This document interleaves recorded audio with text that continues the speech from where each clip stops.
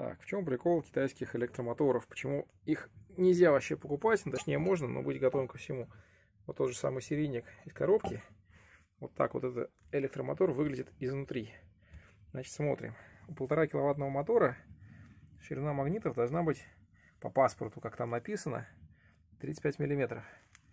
Здесь, как вы видите, всего 30 миллиметров.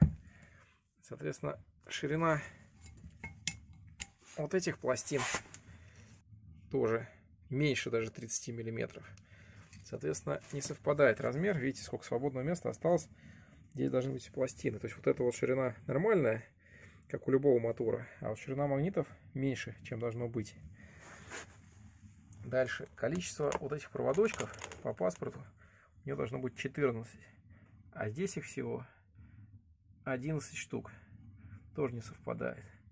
Дальше количество вот этих витков должно быть 4. А здесь их, ну, либо 3, либо 4, это не видно. Похоже, в принципе, что 4 их тут есть. Самое интересное, ну, кстати, вот этот мотор, вот он лаком не покрыт. Сейчас я покажу. То есть вот эти вот обмотки надо сразу с самого начала лаком покрывать. Видно, да, что уже ржавчина, коррозия пошла. То есть пару недель покататься, и это все заржавеет. Но у этого мотора вот эти вот провода все подвязаны. То есть все вот эти вот скрутки, они уже зафиксированы такой вот ниточкой. Потом я как-нибудь покажу другой мотор китайский. Там это все в свободном плавании болтается. Дальше вот это вот все. Видите, да, просто на хомутике. Вот здесь вот никакой термоусадки, никакой изоляции. То есть это все будет болтаться от вибрации может вот этот вот контакт перетереться. Это тоже нехорошо. То есть это на самом деле не полтора киловаттный мотор, как было написано, а всего лишь 1,2 или киловатт.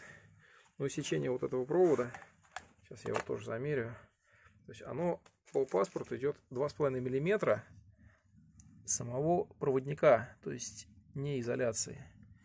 Вот. А здесь 2 2,2 мм в изоляции. Соответственно, тоже не соответствует. Соответственно, где-то, наверное, миллиметр сечения этого проводника. И он не способен пропускать такие токи, которые нужны полтора киловаттному. Ну и вот эта вот похабщина, которая вообще никак не, за, за, не заизолирована. Мы, конечно, такие разъемы сразу меняем на нормальные. Вот, вот так вот выглядит моторчик. Direct Drive магнитный внутри, который должен быть полтора киловатта. На самом деле он намного меньше.